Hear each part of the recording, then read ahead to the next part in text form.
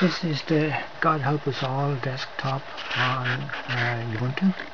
It's got this really gruesome, awful thing here that hogs all your memory. And this is the way to get rid of it. It's called LXDE, the Lightweight Desktop um, Manager. And here we go here. See how extraordinarily slow this uh, download and install is going? This is typical of uh, the, the, horrible desktop. Anyway, once we get this installed, uh, as a user, you just go to LXDE and you should be saved. Thank you. So anyway, this is my login screen.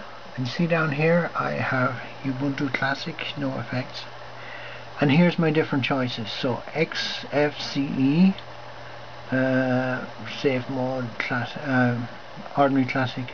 Or Ubuntu. Now if you go Ubuntu it's a nightmare currently on this computer because it will give you um, that Unity desktop. OpenBox uh, LXDE that's another uh, pretty decent one. KDE Plasma uh, is another slow one GNOME OpenBox I can't remember. Um, OpenBox is relatively okay. But basically there's your choices and there's where you will find them. And um, you know as soon as you get your login screen.